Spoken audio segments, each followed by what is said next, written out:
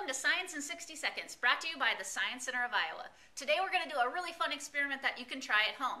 Here's what you'll need. 3 quarters cup cornstarch, a half cup of water, a bowl, a spoon, some newspaper, and don't forget to ask adult permission. First you're going to want to cover your surface area with newspaper. Then you're going to pour cornstarch and water together in the bowl, and you can mix it together either using a spoon or your hands. And presto, you've made oobleck.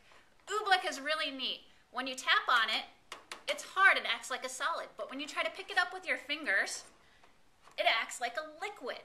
So, when you're done playing with oobleck and done figuring out how it works, just toss it in the garbage.